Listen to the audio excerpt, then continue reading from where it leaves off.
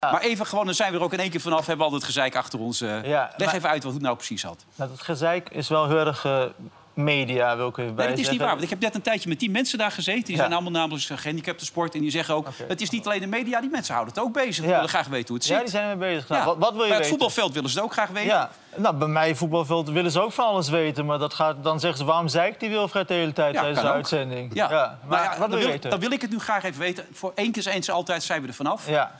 Ehm, waar is het misgegaan dat mensen opeens zo boos op je gingen worden? Ik weet echt niet.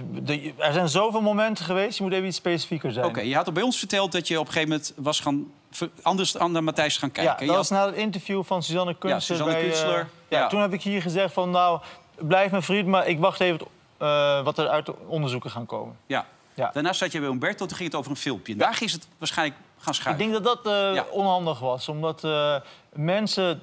Terwijl ik had gezegd, het is geen gezellig gedrag wat je ziet in Nee. dat filmpje.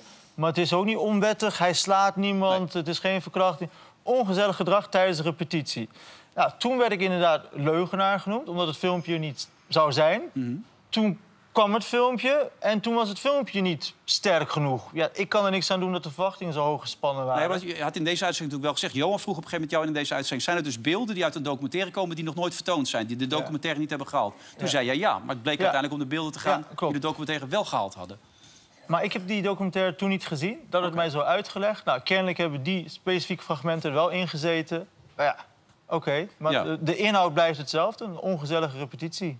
Ja, nee, dat snap ik. Dat, maar dat, het filmpje was voor jou ook niet de reden om je zo Nee, maar dat heb ik ook nooit gezegd. Dat Nee. is een soort mediarealiteit geworden. Telkens gecultiveerd op allerlei andere sites en podcasts en vloggers en weet ik wat. Maar Maar het was eigenlijk een mediacircus. Jij kon er niet zoveel aan doen, bedoel je? jij wil heel graag horen dat ik bij Humberto niet over het filmpje had moeten beginnen. Nou ja, Maar ik, ik heb- of ik dat graag wil Nee, maar dat is wel zo. Dat wil jij graag horen.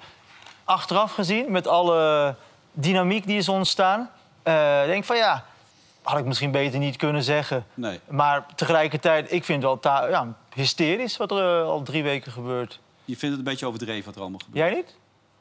Ja, dat, ik denk omdat het een eigen leven is gaan leiden natuurlijk. Als je het filmpje... Kijk, René kwam op een gegeven moment het verhaal... dat er een hele eh eskader is die eh, staat te wachten... om Matthijs van Nieuwkerk neer te maaien. Ja, Dat dat- ja, dat staat ook gewoon in de krant. Dat, is, eh, dat heb ik hem verteld hier. En het stond in de krant. Iedereen weet ervan die bij betrokken is. Dus wat, wat is daar zo bijzonder dat aan? was voor mij nog vrij, vrij nieuw allemaal. Maar Ja, dus Hij had het van mij gehoord en laatst stond in de krant. ja, Ja. er is dus een groep mensen die Matthijs van Nieuwkerk zeg maar opwacht. Het is algemeen bekend, volgens mij, iemand die de krant leest, weet het ook, dat er, dat er ik wijs naar me, dat er appgroepen zijn waarin, de, waarin dit heel stevig eh, in de gaten wordt gehouden, ja, wat er allemaal gebeurt. Ik had het niet in de krant gelezen, ik had het dus uiteindelijk van kan je nu gehoord. een, een screenshot laten zien van het AD waar het gewoon staat dat er appgroepen zijn. Dan heb ik dat gemist. Ja. Ja, Maar heb Eus- jij niet. Eus, ik, ik heb me niet zo druk gemaakt over dat filmpje. Eh, ik heb me wel verbaasd dat als je beste vriend op de grond ligt... die had je moeten blijven steunen, door Mhm. dik en dun. Want dat is je vriend.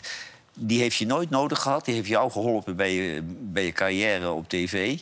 En nu heeft hij jou even nodig. En nu keer jij je van hem af. En Mhm. Ja, dat maar- kan niet. ja, maar dat is dus niet zo, want hij is in mijn ogen en volgens mij in zijn beleving ook nog steeds mijn vriend. Alleen ik wist sommige dingen niet. Wat ik hoorde in dat interview met die kunsten. Daarom zei ik, ik blijf hem steunen, maar laat ze het maar even onderzoeken of het klopt wat die vrouw zegt. Want het waren nogal wat aan- aantijgingen die daar over die tafel kwamen. Ja, maar jij neemt die, die, die NOS-heks wel, wel erg serieus, hè? Wie is de Suzanne? Kunstler bedoel je? Ja. Want BNR, B- BNR ja. Ja, dat is ook mijn werkgever, dus natuurlijk moet hij serieus Jawel, nemen. maar je hoeft niet iedere werkgever eh, te vriend te houden. Hè? Nee, zeker Als ze, niet, als ze eh. ongelijk hebben. Ja. En eh, kijk, die, die heeft hem echt voor de bus gegooid, hè? Maar er zijn 120 mensen bij haar geweest die hebben gezegd dat er iets is gebeurd. Dan, dan kan ik niet zeggen, dus tegen iemand die ook mijn werkgever is, ja, ze lult. Dan zeg ik wat ik hier ook heb gedaan. Ik doe even een stapje naar achter en ik wacht af wat er uit zo'n onderzoek komt. Meer heb ik ook niet gedaan. Ik heb niet gezegd van. Ja, maar je moet je, je, moet, je moet je iets, iets minder tactisch opstellen tegen werkgevers. En denk iets meer je gevoel. Kijk, Ja. Maar bij- hij voelt zich een beetje genaaid. Dat zeg je ook. Wie hij heeft wie nu genaaid? Dat zei je toch afgelopen week bij Jordi Verstegen notabene. Goede journalist. Was de enige die wel even een goede re- reconstructie ging maken. Nee, Ja. meen ik echt. Ja, ja. Die heeft gewoon een Dus normale zo vraag. kennen we Jordi ook. Dat doet hij goed. ja, maar ik vond het wel heel raar dat jij als AD-jongen in de Telegraaf ging staan. Telegraaf vond dit een non-issue. Of eh, AD vond dit een non-issue. Waar gaat het over? Waarom gaat het al zo lang door?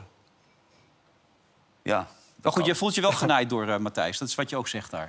Ik voel me niet genaaid, ik voel me voor het blok gezet. Als, als je met iemand praat En eh, hij zegt, dit is gebeurd en meer niet. En die vrouw beweert, er is meer gebeurd. Ja, dan voel je een beetje voor het blok gezet. Wij hebben ons eh, maandenlang voor hem hard gemaakt. Voor hem opgenomen, stemvervingen. Als dat het is, dan, eh, dan is toch niks aan de hand. Hmm. Maar als je dan later leest, er is wel iets aan de hand... Ja, dan voel je toch een beetje voor het blok gezet. Ja, nou goed. En toen jij werd gecanceld met... of jij hebt jezelf gecanceld trouwens. Nou, met die kaarsrel. Toen... volgens mij was ik de eerste die bij Jinek ging zitten om het voor je op te nemen. Maar dan weet je wat er aan de hand is. Dan heb je overzicht. Maar ik heb nu geen overzicht meer. Ik weet niet wat er aan de hand is. Nee. wel grappig Nee, maar la- laten we er maar over ophouden. Ja, zou ik nou zeggen, het enige grap is nog wel... Toen jij dus- weet je wie jou als eerste cancelde? Nee. De allereerste die begon over die kaars de volgende dag. Weet je wie dat was? Nee. Bert Huisjes. Die was de eerste die riep, Oh ja? dat kan echt niet. En Ik heb dat altijd wel een geweldige klootzak Ja. gevonden.